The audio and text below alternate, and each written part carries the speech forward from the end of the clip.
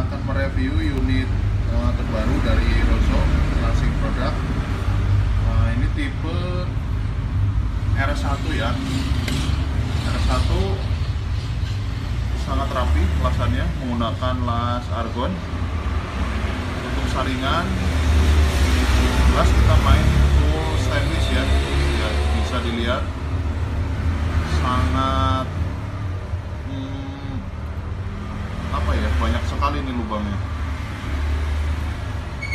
Kita udah main eh, full stainless saringan. Lumayan rapi. Ini untuk tipe R1 ini udah ada gantungan paten ya. Nah ini untuk tipe R02 ini nggak ada gantungan patennya. Pasang sama